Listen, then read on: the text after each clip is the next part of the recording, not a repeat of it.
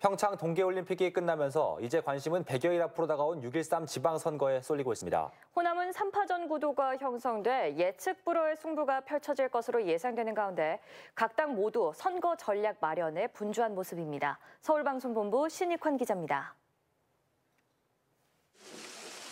우선 더불어민주당은 압도적인 정당 지지율을 앞세워 호남 싹쓸이를 노리고 있습니다.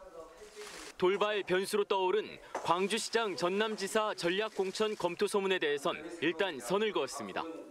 지역민들의 의사가 반영되지 않는 중앙당의 전략공천이 검토되거나 이렇게 하면 저부터 반대할게요. 뭐 현실화 생기지 않을 겁니다.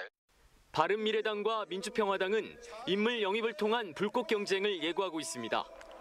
바른미래당은 정치 신인을 대거 등용하고 호남 경제를 활성화시킬 수 있는 정책 발굴에 힘써 민심을 얻겠다는 구상입니다.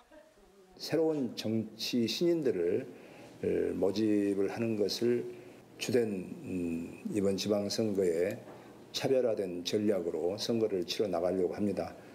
민주평화당 역시 경쟁력 있는 인물 영입에 적극 나서는 한편 민주당과의 1대1 경쟁 구도를 만들면 승산이 있다는 입장입니다. 훌륭한 인물이 자치단체 장이 될 수 있도록 하는 그런 기조로 이번 지방선거를 치르겠습니다.